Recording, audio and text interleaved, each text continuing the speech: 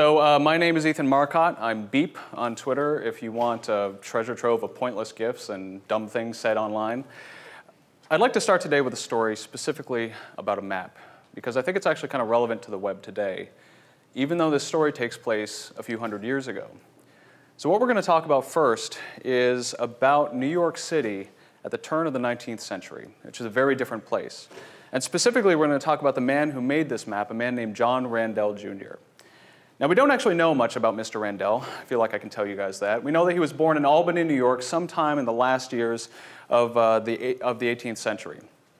What we do know, however, is that he eventually became one of New York City's three street commissioners. And for us, this is actually where his story really becomes interesting. Because in the last years of the 1700s, New York City was a fraction of its modern day size. Its population was around 125,000 people, according to the estimates that we have around the time. Probably doesn't seem like very much to you and I, but the amazing thing, or maybe the terrifying thing, is that the overwhelming percentage of that population was actually concentrated around the southernmost tip of the island, all huddled around a really small part of New York City's 33 and a half square miles. North of that point, however, there were these privately held, expansive estates that sprawled for miles on end. So, kind of in a lot of ways, we're not talking about one New York City, but two. Two cities sitting side by side, not really overlapping all that much on the same exact island.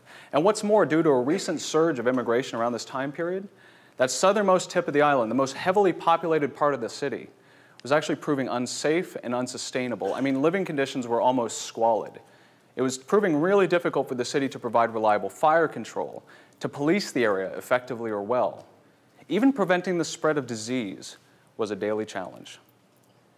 Now, thankfully, city government felt like this was maybe a solvable problem. So, after a few failed initiatives, in 1807 they formed what was known as the Commission of Streets and Roads to try to design and, uh, and build a new comprehensive street plan for the island. And they appointed our good friend from a few slides ago, John Randel Jr., its chief engineer and surveyor. Now, Randel had this team of really talented folks working alongside him, but there's a lot of really great writing around this time about how Randel himself was often seen walking the entire length of the island, from south to north and then back again, sometimes twice in one day. And as he walked, he'd actually plant these posts in the ground behind him to actually denote where an intersection would eventually fall. And after four years of this work, four years of this hard work, he and his team finally completed their project. And what they produced, I think, was actually kind of beautiful. Because they produced three copies of a map. Each one of those maps was nine feet long and 30 inches wide, each one of them detailing New York City's now famous grid street layout. And I mean, the aesthetics of these maps are, are, one thing, but the scope of what they designed is stunning because they basically produced a system of 12 named or lettered streets running north south parallel to the island, each one of them intersected by 155 numbered streets crossing them east to west. So, in a lot of ways, what Randel and his team had done was they'd taken this jumble of irregularly shaped plots of land and knotted streets and normalized them. They created a kind of life size Cartesian coordinate system that was accessible both to old residents of the island and new ones alike. This is a talk about web design. Uh, but the reason I'm excited to be here today and share this story with you guys isn't just because I love the details, but I think there's a magic to map making. You know, maps provide a sense of boundary and scope. They give a shape to something we didn't previously understand. So we can explore a territory that's completely foreign to us, and when we do so, we, we chart down what we learn, right? We try to understand its landmarks and their relationships to each other, and then we create this artifact, this map, this globe, that we can then bring back into that territory that was once so foreign to us and make it feel a little bit more like home there's an analogy here between maps and map making and the work that we do on the web on a daily basis. I mean, every single project that we launch, every site that we design and build is like a little map that we make of a problem we didn't previously understand. We try to figure out where, where its contours are and try to understand the scope of it. And then when we launch it, well, we've you know, sort of explained it. We've created that artifact, that map of that problem space to make it more accessible both to us and our businesses, but also to our audiences as well. And if we take every single one of those maps and we sort of stack them on top of each other or stitch them together, we're basically, on a daily basis, building a map of the web together in our work, if you think about it. The problem is, is that our map of the web has historically been kind of narrow or maybe a little bit limited in scope because we've been so focused historically on just a handful of desktop browsers and devices and basically just building sites and experiences tailored just for them. And then as the saying goes, mobile more or less broke the hell out of everything. the thing is, is that mobile didn't really break anything. It just showed us that the way in which we viewed the web was entirely too narrow. It was a little bit of a consensual hallucination as Jeremy Keith likes to call it, one that we'd all bought into, that we could somehow control where and when people access our sites and our services. But now we're keenly aware of that fact that you know, our audiences are trying to access our work everywhere and every when they happen to be, regardless of the size of the screen that happens to be close to, to them. And we've been trying to bring our work closer to them, first with device-specific experiences, and now with more device-agnostic, more holistic ones. Well, one of those happens to be something called responsive web design. This is an article I wrote, uh, oh God, five years ago. I'm just going to have a sad moment for a minute about the passage of time. Uh, but I mean, responsive design at the end of the day, I mean, you, if you put aside the technical components, it's about embracing the flexibility intrinsic to the web. You know, Christian talked a lot this morning about access and maintainability. The web is the first truly flexible design medium. There's really never been anything like it before. And uh, things like responsive design allow us to leverage that flexibility and design across a greater number of screens than ever before.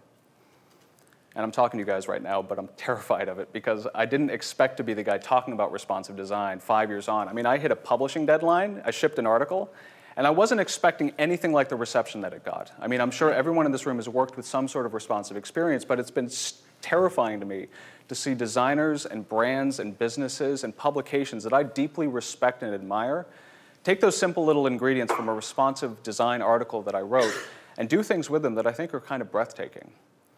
But what I love about it isn't just the flexibility of the layouts, but a lot of these organizations are finding that responsive design changes the way that they work and collaborate internally. The way in which they think about and design information hierarchies gets really interesting when you start thinking more flexibly.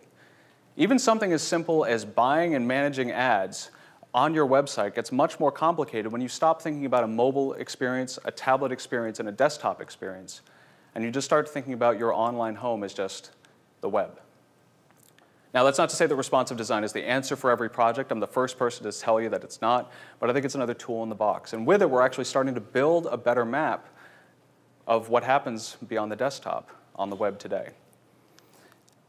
So if every little project that we work on is like a map, I want to tell you about one little journey that I went on a couple years ago, working on a responsive web application uh, called Editorially. Did anyone happen to use Editorially in its brief lifetime? Okay, well, there's a one hand up in the back of the room. This is something I miss daily, but um, editorially closed its doors at the uh, beginning of last year, but it was still a really fun project to work on. So I thought I'd share a little bit about how responsive design works if you haven't worked on one, and walk you through the interface right now. So just as a little bit of preamble, I mean, editorially was a service for writers and editors to work better together online. The editorially team basically felt that the best writing process wasn't about bringing word processors into browsers, but actually trying to build some tooling around the collaboration process. So people could, in this completely responsive interface, build uh, documents and publish them and actually share them with other people in a versioned environment and basically work on any size screen that happened to be close at hand. Now, most of that uh, collaboration happened in the editor, which was kind of a rich writing experience. But the approach that I really liked the editorially team took was that it wasn't about presentation, it was about structure. So you could use something like Markdown to basically treat your text as a kind of interface so that as you sort of decorated it, it would actually just sort of enhance the presentation just a little bit to better communicate a sense of structure in the document. But because the team actually believed really strongly in the flexibility of the web and the access that the platform provided, they didn't want to sort of limit the functionality just to wider screens. They really wanted this to be a completely responsive experience. So no matter what device you happen to have closest to you, you would have this fully featured experience so you could access your words and revise them and still collaborate with other people side by side. Sorry, it's the end of the day. I'm soapboxing at you. But you know, because uh, editorially was a completely responsive experience, there are really just three ingredients that go into any responsive design. It begins first with a flexible or fluid grid-based layout, with images and media that work within those flexible designs, and then finally, media queries that allow us to articulate how those flexible, sprawling layouts can actually be reshaped in useful ways so that we can make major or minor changes to those kind of ugly, flexible grids. Now, there aren't a lot of images in the editorial UI, but I just wanted to go over the, three, uh, the two workhorse ingredients, specifically fluid grids and media queries working together, and show you how they work, or how I think about them working. So there's been a lot of writing, both by me and by other people, about how you can take any grid system that's been designed in something like Photoshop and Illustrator and translate it into something more proportional. Using a little bit of proportional math, we can take target pixel values from a comp or some sort of mockup, and by assessing their width relative to the container that they sit in, we're left with a proportional result that is probably the ugliest numbers you guys have seen today. Uh, although I'm talking to a room full of programmers and I barely understand numbers. So uh, uh, anyway, we can take that number and basically drop it directly into our style sheet. The nice thing about this math is it applies to pretty much every component of our designs, even the gutters that separate elements on the grid. I mean, those have target pixel values that might be articulated in Photoshop or in Illustrator but we can actually express them relative to the same exact container, and we're left with a result that's you know, roughly 3%, and then a whole bunch of paint after the decimal point. And rather than rounding those numbers off, I mean, we can actually just take them and drop them directly into our style sheet, apply some directional rules, and we're left with the flexibility that we need to get this working in a cross-device context. Unfortunately, that's not you know, all that happens. There's always cleanup that happens in any layout, and that's why I've been leaning a little bit more on tools like Nthchild to really round off some of the details of my responsive designs. Um, I'm sure everyone in the room is probably familiar with this pseudo selector, but if you're not, um, this is something I've really started pushing, especially on more complex layouts like Editorially's. So I can directly address individual elements of my design without cluttering up the markup with presentational classes. So for example, I could say something like doc cell nth child 2 to directly address some styles to that cell that happens to be the second child of its parent. That's totally useless. Where nth child gets really powerful and really interesting, however, is when you start bringing some letters into the mix, specifically n. So if I say 2n, then basically every even-numbered cell I can address with that one simple rule. And this works if I have 20 cells in the grid or 20,000. Now for this layout, that's not very helpful. But the reason this works is because n is essentially a counter. It starts from 0 and increments by 1 each time. So then it's simple multiplication. 2 times 0, 2 times 1, 2 times 2, and so on and so forth. So if I'm building this three-column layout, then I can say something like this. nth child 3n to basically remove that right-hand margin on every single third cell in my grid to ensure that it's flush against the right-hand edge of my layout. But I can also say nth child 3n to select every third cell but this time starting from 1 rather than 0. And when I do that, I can basically clear all the floats preceding it to ensure that every single row has a nice discrete grouping of three cells on each line. So this is actually where that flexibility comes into play because without actually having to describe my layout in the markup, I've got a quick three-column grid, and it's founded on some proportional layouts rather than pixel-specific ones. So the pixel values of those elements will change over time as the viewport gets wider or smaller, but the proportions that were originally designed remain intact. Now, there's a reason that flexible layouts have had a bad rap for years, but this is where media queries come in. We can actually channel that flexibility in useful ways without actually getting overwhelmed by it. So every responsive design that I've worked on since the Boston Globe has started with this sort of baseline layout. You know, it's a single column of tasks. There's actually not much of a grid to speak of. They're basically just sorted from top to bottom. It's mobile friendly by default. But basically, with this flexible single column layout in place, we can start widening the viewport a little bit more and looking for opportunities to enhance it. So for example, at a width of around 31 ems, I can introduce a breakpoint where I move to a two column cell in the body using uh, nth child 2n and 2n plus 1. And I can also promote a few more elements up into the header using some simple absolute positioning. And then I can repeat the process. You know, when I get up to a width of around 44 ems, I can go to that three column layout we just built a few slides ago with 3n and 3n plus 1 in the nth child. And then again, I can kind of repeat the process. I can narrow the header because we have a little bit more room to work with, and I can move to a four column layout with nth child 4n and 4n plus 1. I think you can see where this is probably going. I haven't actually described in the HTML or in the document anything about the layout that I want. I've abstracted all those rules into my CSS so I can move to a five column layout or a six column layout if I'm feeling especially, you know, self uh, masochistic and then move up to a six column and a seven column and so on. We're at this point now where we can build grid systems that are effectively infinite. You know, responsive design for me isn't about taking a desktop friendly design and sizing it down to mobile, although that's definitely a nice benefit we can basically create a design that doesn't have any one true canonical best version.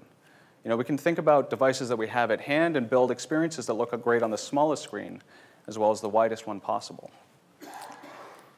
And as I've been doing more of this work and moving more and more of my layout rules out of my documents, it's been really helpful for me to move away from this idea of a page, right? That there's no, this, there's no holistic, tightly bound thing that controls my interface.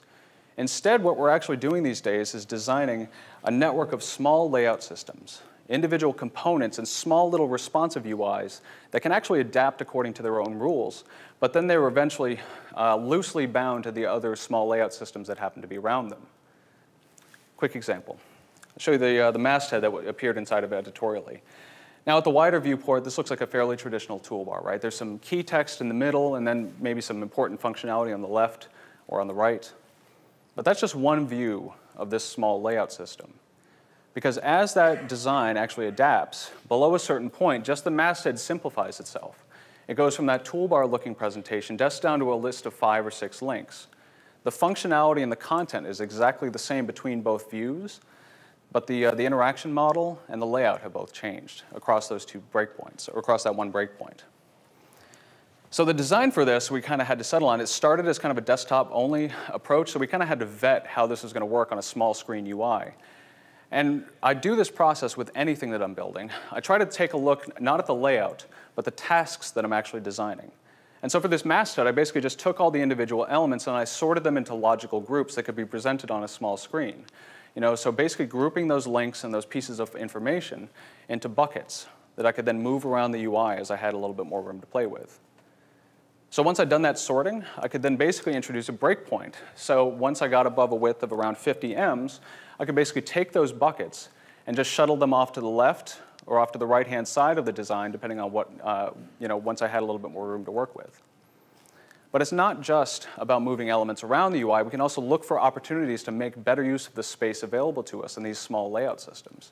So for example, elements that appear in submenus by default on the smaller screen, we can use absolute positioning to actually just drape them over the middle of that toolbar to make them visible by default when we have enough room to work with them. Now, when people are looking at my CSS, well, the first question they usually ask is, why God did you do this? Um, but the one question that comes up a lot is, you know, these breakpoints, where do they actually come from? This isn't tailored to a specific screen resolution or a device class. That's actually driven by the needs of this one small layout system, of the content that appears inside that masthead. Because below that point, that central piece of information inside that toolbar, that document text, actually becomes in danger of being clipped by the buttons that appear on the left or on the right. So that makes a natural falling off point to simplify the layout to ensure that the content's still accessible and still easy to read, regardless of the size of the screen. So in general, if you can design your media queries, and specifically your breakpoints, around defending your content, defending the integrity of your content, don't focus on device classes or screen shapes, but rather just at, look at the needs of the content inside those small layout systems to build more future-friendly layouts from there. I think uh, a really beautiful example of this is Microsoft's responsive homepage. And I, I, fully acknowledge that I'm in a weird point in my career where I'm praising design work coming out of Microsoft. but this is one of the most stunning responsive designs that I've seen. I mean, if you spend any amount of time with this layout, every single module on the homepage feels tuned to its ideal width and height. So you'll see elements like that Discover menu that appears on the left on wider breakpoints. It, you know, at certain breakpoints, it'll actually move to a horizontal list of links, and then sometimes back to a vertical one.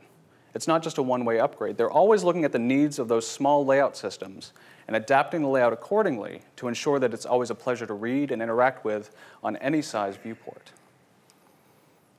The reason I love this more content-out view of design is that we can't keep up with the devices that keep emerging in the marketplace. We have to focus on the needs of the information we're designing rather than the screens in front of us. And to do so, we can basically then build this map of the web together, right? We're moving further and further beyond the desktop.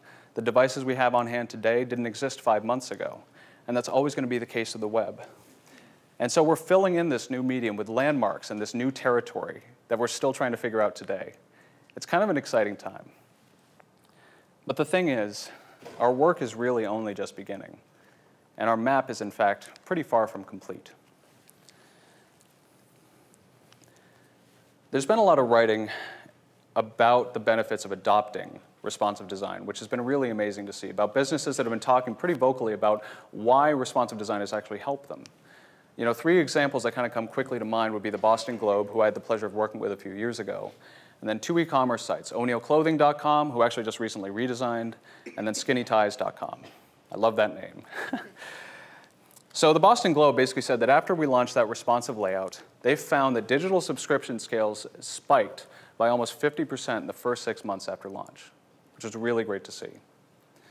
The folks at uh, O'Neill Clothing, Electric Pulp, who was the studio behind it, basically said that iPhone transactions more than doubled and Android transactions more than quadrupled over the previous non-responsive version of the site.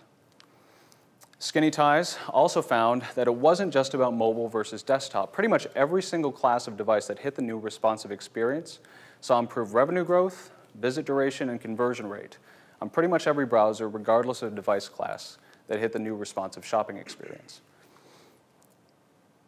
I love slides like this, you know, especially not just in conference settings, but I like to show impressive looking percentages to clients and stakeholders and actually say that there's some value from a business standpoint in adopting responsive design. But I think it's also fair to say that there's been a little muttering in the underbrush, that maybe responsive design's not all that. And in fact, maybe there's a little bit of trouble in paradise that we need to talk about. Always lead with a GIF, mom said. She didn't actually say that. Um, Quick example. Uh, this is moto.oakley.com. This is, a, frankly, a beautiful piece of responsive work. It's one of the most technically impressive responsive sites I've seen in a while. It's a completely responsive design, but they've done an amazing job translating some very complex layout and animation schemes on this completely flexible canvas. It is a single-page website, and on a non-retina screen, it weighs about six megabytes. Now, to be fair, credit where credit's due, when they first launched, uh, it was closer to 85 megabytes. So they've optimized the absolute, they have optimized the absolute heck out of this. So for something that wasn't designed with performance in mind, maybe, you know, this is actually impressive work, I think. This is tnnlax.com, um, a sadly now defunct digital design studio up in Canada, but their site was wonderful. I don't know if anyone here happened to see it, but not just from an aesthetic standpoint or from a layout standpoint, but they told amazing stories about the client work that they did. And there were all these wonderful little interaction details kind of throughout the UI. So, you know, if you happen to have a mouse available to you on the device that you were using, you could move into certain graphics and actually scrub them with your mouse to actually get a little bit more detail about their process and their thinking, the before and after of some of this work. It was a beautiful piece of responsive design. But depending on where you were in the site, any given page would range in size from 3 megabytes to 21 megabytes. So it's sites like tnnlax.com and moto.oakley.com that have led some people to say things like this. I think you have to face the music. Responsive design makes it hard to write a fast website. Them's fighting words, guys. Come on. After the, you know, after the party tonight, we'll grab some uh, you know, pitchforks and torches. It's going to be a really great evening. Um, I, am just kidding. I mean, Guy Podjarny, actually, he's a former CTO at Akamai, and he's done some invaluable research and writing into some of the challenges facing responsive designers who should be caring about performance, as I think we probably all do. But this is a sentiment that comes up pretty frequently, that at the end of the day, there's something about responsive design that makes it incompatible with front-end performance. And I'm here to tell you that's not the case. But there is that larger problem with performance, as Nicholas wonderfully put together today. But it extends beyond responsive design.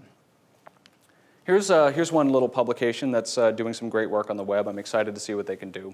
Um, this is uh, a previous version of a redesign which was not flexible or responsive. It was a completely fixed width design. And for such a stately looking design, I was actually kind of uh, surprised to discover that it weighed about three megabytes before the ad showed up and ruined the party even more. This is another fixed width site. Uh, this is internet.org. This one's actually kind of interesting. This is a campaign put together by Facebook to help people in developing markets get better access to Facebook. I'm sorry, I meant the internet. but on a non-retina screen, this single page weighs 4.3 megabytes. This is Apple's Mac Pro promo site. And you know, this is stunning work. I mean, this is cinematic, it's beautiful. I mean, you know, you have artwork that's sort of flying out of the darkness at you, and yeah, it's a scroll jacking thing, but you know, I mean, you know, you have photographs that turn into cross sections of themselves. I mean, this is this is evocative work, you know, unsurprising given who designed it. This one page on a non-retina screen weighed 33.4 megabytes. So, you know, standing in front of a room full of wonderful people, it would be very easy for me to look at the New York Times or Apple's promo sites or internet.org and to basically say that, guys, I think we need to face the music. Fixed width design makes it very hard to write a fast website. I'm officially trolling. So what I'm doing is what some of the critics of responsive design have done, which is they're looking at specific implementations that maybe weren't engineered or designed as effectively as they could be, and use them to critique the, uh, the approach as a whole. So there's nothing at the end of the day about responsive design that makes it slow. It's the people and the design work that goes into it that actually determines the quality of the product. But there is, as we've heard at many points today, a larger weight problem on the web. I mean, back in 2009, the average size of a web page was 320 kilobytes. And as of this month, this year, that size has gone up to 2.1 megabytes. Every single year, the weight of our work seems to double. It's 600% growth almost in about six years. And Moore's Law has been charting all these wonderful increases in nearly every aspect of personal computing faster processors, expanded storage, better memory. But the one area Moore's Law has completely failed is bandwidth. And that trend doesn't seem to be reversing itself. So as I was uh, working on this talk, I came across the work of this philosopher and this writer named Alfred Korzybski, who was working in the middle of the 20th century. And he was, a, he was a philosopher, but he was also really focused on this idea of semantics, of the words that we use to actually communicate on a daily basis. A uh, quick example, he loved this idea of what was known as a rhetorical divide between a concept and a representation of it. So for example, I could basically ask you to tell me about that first cup of coffee you had this morning, or tea, that's more your thing. This is a safe place, no judgment. You know, tell me about that experience. Tell me what it was like. I mean, you could start anywhere. You could start with the taste of it, the smell, the heat in your hands. It doesn't really matter. You could talk quite literally for days about that experience, drinking that coffee or that tea. And some detail would always be left out. So for me, the listener, language is never going to be able to bridge that gap between the actual experience of drinking the coffee and the rep representation you're actually painting with your words. And this is what fascinated Korzybski. This is what led him to basically say that the map, the thing, or the, uh, the representation is not actually the territory, the thing that it represents. So basically, this seems, I think, a little bit self-evident, right? That when you're actually looking at a map, you're not looking at the territory that it represents, right? You're looking at an abstraction, you know, of three dimensions that have basically been blunted down into two. Something is going to get left out, right? But Korzybski was actually concerned that we overlooked that distinction. sometimes we'd actually mentally substitute the map for the territory. We'd be so focused on the drawing in front of us that we wouldn't sometimes look up to take in the complexity and the terrifying chaos of the territory that it actually represented. I mention this because I think, in a lot of ways, as an industry, we tend to do this on the web on a daily basis that um, a majority of our design discussions, and that, you know, discussions around responsive design specifically focus on decidedly Western views of the web. And in many ways, we've mistaken the map for the true territory of the web, which is actually much more complicated and much more chaotic than we might like to admit. Quick example, you know, the word that I think I hear most on any given responsive design is probably mobile, right? And mobile, I think we've, we've actually done a good job of sort of redefining it in recent years. There's no singular mobile user. But we still have a little bit of conceptual baggage. We think of these devices that are always on, they're always online, they're my device. They're the truly personal computer. But if we look a little bit further afield, the picture is much more complicated than that. This is Dhaka, the capital city of Bangladesh. And this is a fascinating part of the world to me. I would love to visit it at some point. Because Dhaka is actually classified as a megacity one that both has an incredibly large population and a very, very high population density. Among many other reasons, Dhaka is actually known for its uh, density because over a relatively small area, there are over 115,000 people for every square mile of the city. Uh, back in 2012, uh, The Economist actually ranked it the sixth most unlivable city on the planet. But it's actually a really fascinating area of the world because mobile usage is incredibly widespread. In 2011 alone, the number of mobile users in the country exploded by over 900%, thanks to some massive deregulation. And even among the poor citizens of urban areas like Dhaka, mobile usage is incredibly widespread, but these are very rarely personal devices. There are all these pocket economies of sidewalk vendors who rent time and data to people who want access to the web but can't actually afford the data and the devices themselves. And this isn't just uh, isolated to Bangladesh. I mean, if we look a little bit further west and move over to Africa, I mean, things are seriously afoot in the continent. I mean, the continent, they have more than 700 million mobile phone users, outpacing pretty much anything that we have here in the West. And nearly a tenth of Africa's landmass is actually covered with mobile internet services. In fact, it's often said that there are more people in Africa who have access to a mobile phone than direct access to electricity, which I think is really wonderful. But despite that, or maybe because of it, in many ways, Africa is actually leapfrogging our definition of the web because they haven't historically been yoked to the desktop for so long. I mean, more advertising monies are actually poured into mobile than any other medium. And uh, mobile payment systems are actually far further ahead than anything we happen to have here in the West. But once again, their version of mobile doesn't neatly map to ours. Uh, mobile phones are, again, not often personal devices. They might be leased, as in Bangladesh, or they might actually be shared among a community or a village. Now, this is changing, of course, but that means that their definition of mobile is dramatically different than ours. In fact, their definition of the web is much different than ours. Some of the most uh, popular services in sub-Saharan Africa are things like Hatari, which allows you to report bribes and corruption by email, by text, or by tweet. And then there's Mimiboard, which allows people to actually uh, create these geo-specific notice boards of things and events near them, like lunch specials or traffic collisions, stuff like that. And then there's M-Maji, which is a really wonderful service. It means mobile water in Swahili. And using a very simple SMS-driven interface, Nairobians without access to clean water can actually compare water vendors, compare prices, all without leaving their homes, and rate their service after they've completed a transaction. Now, looking at each of these services, I mean, they don't seem to have a lot in common. I mean, they're designed with a whole host of different services and protocols, but the one characteristic they all share is that they're designed for reach from the outset. And this is by far and wide emblematic of the most popular services in Africa. They start with the lowest tier of devices possible and then intelligently enhance up to the highest end. Now, I know what you're thinking. You know, it's the end of the day. Maybe there are a couple crossed arms, or maybe you're really excited about some drinks tonight. And maybe you're thinking yourselves, though, that these aren't my users. These aren't the people that I'm designing for today. But I'd actually argue that in the very short term, they might be, or they might be closer to the profile of the people that you're actually designing for. I mean, geographically speaking, there's been a lot of really interesting research about the changing shape of the web as it's happening right now today. That the lion's share of mobile data isn't actually being consumed in more developed markets anymore. It's actually being consumed in more developing, more emerging economies. But you know, putting geography aside, the network that we use to publish our work and travel the web on a daily basis is far more volatile and far slower than we might like to think. Ericsson recently found that of the 7 billion estimated mobile subscriptions that were in use at the end of 2013, a full 60% of them were on sub 3G networks.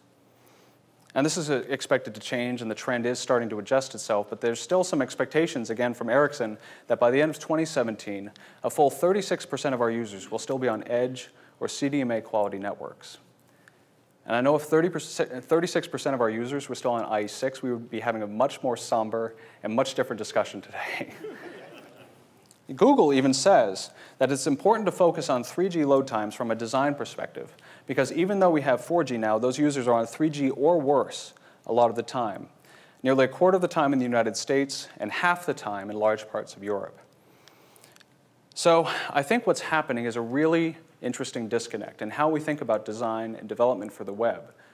We are today building some of the most beautiful, some of the most stunning responsive work or non-responsive work that happens to be out on the web at any point in its short history. But I wonder if maybe it's not ready for a web that's increasingly dominated by slow connections, by low-powered devices, that's not ready for the web as it's redefining itself right now. And so, at least for me, I, I, think it's easy, at least for me personally, to kind of write off the developments in some of these younger markets like Bangladesh or sub Saharan Africa is just kind of like, you know, that's, a, that's an emerging ecosystem. Eventually, all boats will rise. But I think what's actually happening is emblematic of a new normal for the web. That this class of user and this, you know, in these regions are actually more representative of the people we're designing for on a daily basis. So, if that's true, if the web is much slower than we like to think of, what does that mean for how we design and build for the web? And are we ready for them? Well, there's one story I did want to come back to, which is that story about John Randel and his map of New York, because I think there's some interesting parallels between New York City at the end of the 1800s and the web as it existed today. Because you had basically this large population consolidated at the foot of the island, but this was really representative of future growth for the city. And then north of that point, you had the entrenched interests, the private estates, the wealthy few who were actually able to enjoy life on the planet. And Randel's work had to sit in the middle of them. He actually had to plan for balance between these two seemingly competing interests. He was trying to design for balance and for future prosperity for all citizens of the city. Now, if you think about maps, just in general, I mean, you usually think about them as the result of a documentation effort, right? You explore that territory, you write down what you know. But Randel's map was for a territory that didn't actually exist. He was trying to define a vision for New York City as it could be, a better version of the city that didn't actually exist at that time. There's actually a really wonderful line from their mission statement where they were basically tasked to lay out streets and um, in such a manner as to unite regularity and order with the public convenience and benefit, and in particular, to promote the health of the city. And you don't see a lot of poetry in civic documentation, but I love that line. And I wonder if we should be asking ourselves on a more daily basis in everything that we do, how can we better promote the health of the web? Not just planning for the users and the devices that we happen to know about today, but for future growth that we can't really anticipate. And I think responsive design is a start, but we need to move beyond just adapting for different size screens. In general, I think what we're doing today, in talking about some of the first principles that Christian highlighted, is we're talking about sustainability, planning not just for device sizes and viewports, but also for the classes of users and networks that we may not be designing for today. So anyway, when I think about sustainability, there are really kind of these two underlying concepts. We need to reduce and revisit. And reduction is the one that we often think about when we think about front-end performance. Um, you know, and there's been so many organizations talking about the commercial benefits of building faster, more lightweight experiences. Walmart is a really great example of this, where they basically found that there was a sharp decline in conversion rate as average site load time increased from even just one to four seconds. That's why many people in the performance community basically say that if it takes more than a second to load, it's frequently broken for both you and for your uh, users. Now, Nicholas outlined some of my favorite tools for designing more res uh, responsively with an eye toward performance. Web page test is an invaluable design tool. But the one that he mentioned that I really love is defining a performance budget. And this is something I try to do with all of my clients and stakeholders at the very beginning of a project, before prototyping's even begun, because it's a great way to get your team focused on uh, performance as a design principle, rather than something that needs to be tackled from a technical standpoint at the end. And performance budgets, I mean, they can be defined in any number of ways. I mean, originally they started really around like requests or page size. More frequently, I think most organizations are talking in terms of user experience, so time to first byte, or how quickly pages load over certain network connections. But regardless of how you actually define your budget as a team, it's important to vet every single decision, from content to design to technical implementation, through the lens of that budget. And if something causes you to exceed that budget, whether it's a new uh, graphic, new weight of font, or a new JavaScript library, then it needs to be a moment to pause as that team actually talks about what the value of that element is if it's going to negatively impact your bottom line from a performance standpoint. So the other thing that I really love is not just technical implementations, but revisiting old ideas that I think are really relevant to the web today. And one of them is, beyond anything else, very critical for designing responsibly, which is this idea of designing for progressive enhancement, of designing to ensure that there's access to the content or to the transaction independent of the experience around it. And this has been at the heart of every responsive design that's been launched at scale over the last couple years. The BBC have been experimenting with responsive design in public for about two years. They just launched their new responsive news experience online. And it's a beautiful piece of work. Aesthetically speaking, it's incredibly fast, it's very flexible, and it is a wonderful ca uh, use case for responsive design. But the way in which they built this is actually kind of interesting. Because if you spend any amount of time with this experience on a, uh, on a reasonably new device, you're going to see a whole bunch of really interesting little UI niceties, like expandable menus, tabs that actually um, toggle different content, secondary stories that have thumbnails. But on less capable browsers and devices like this one, those uh, expandable menus are simply skip links that bring you down to the bottom of the document where the menu resides natively. Those uh, secondary stories don't actually have images associated with them. Those are seen as enhancements, not core content. And those tabs are actually just links to the proper URIs where that content resides natively, which is then fetched in on more uh, enhanced devices. So in other words, what they've done is kind of designed two same uh, similar experiences for that same uh, responsive UI. There's a baseline experience that's incredibly fast and flexible that's served universally, but then a more enhanced one that's conditionally served up to the other ones. Now, the real thing I love about this is how they actually describe which version you actually get, which is a process they call cutting the mustard. Does your browser cut the mustard, sir? This is my new favorite phrase. And I think every time I ask that question in public, I'm never actually going to be invited back to the UK. But uh, what they're doing is just committing to load enough code in the UI to see if the device or the browser can actually benefit from further assets, from more, uh, more code. So they basically are just doing a simple feature check to see if the browser is sufficiently modern enough by BBC standards. And if it passes that test, then great. They bootstrap the UI with additional CSS and with JavaScript to pull in some of those more enhanced UI elements. But if it fails that test, or if the JavaScript never reaches the end user, then they're still left with an incredibly fast and flexible UI that can be viewed on any device on the planet. In other words, for the BBC and for other large-scale organizations that are designing responsibly, progressive enhancement is a great way to let go, but not irresponsibly. What they're doing is designing an experience that can live on two broad tiers from a UI standpoint. And they can basically let go of tracking individual browsers and devices and you know, different platform-specific bugs and actually just focus on whether or not any given browser actually receives that top-line experience. And they're able to do so without sacrificing aesthetics or speed, and I think it's a beautiful example of this.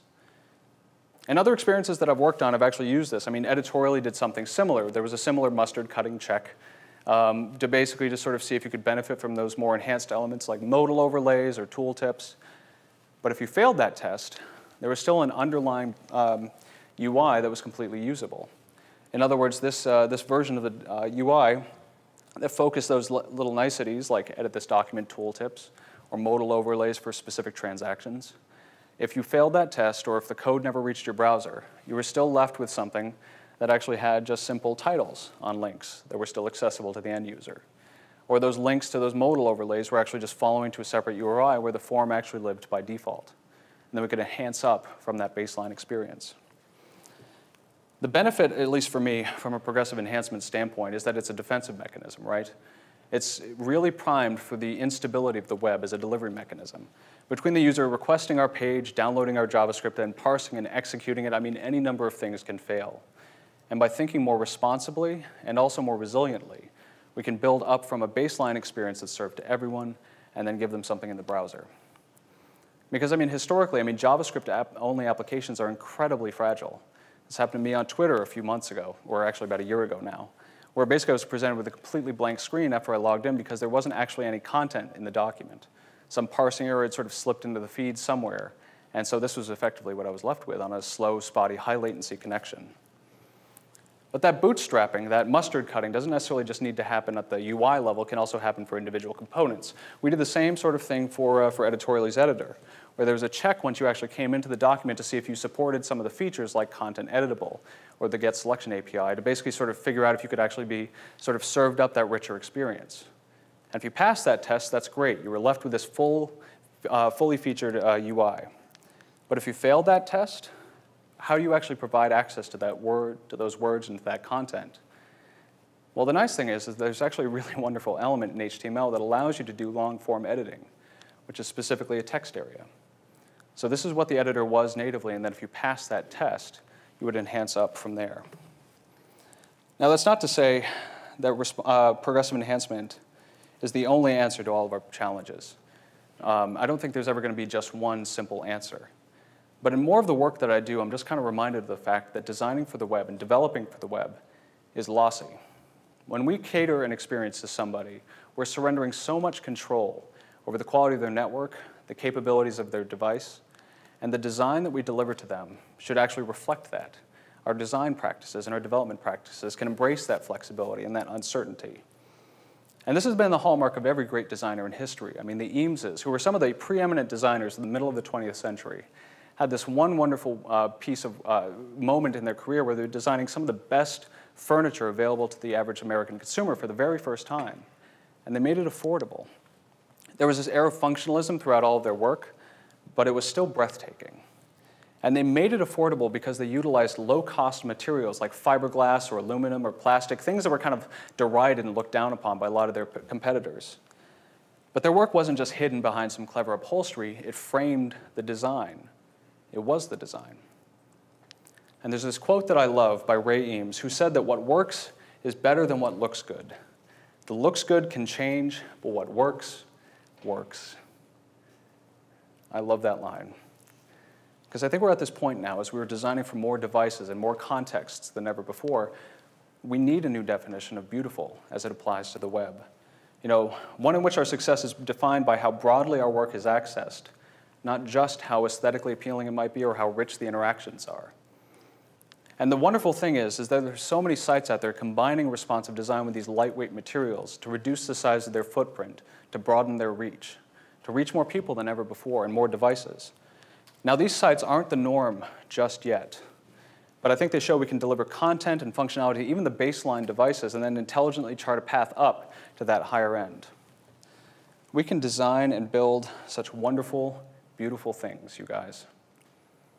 So, yes, we are absolutely builders, we are designers, we are developers, but we're also, maybe more importantly, map makers. We are cartographers. We're capable not just of outlining a landscape, but also reshaping it as we see fit with every project that we launch, with every tool that we build. That's an awesome responsibility, but it's also an incredible gift.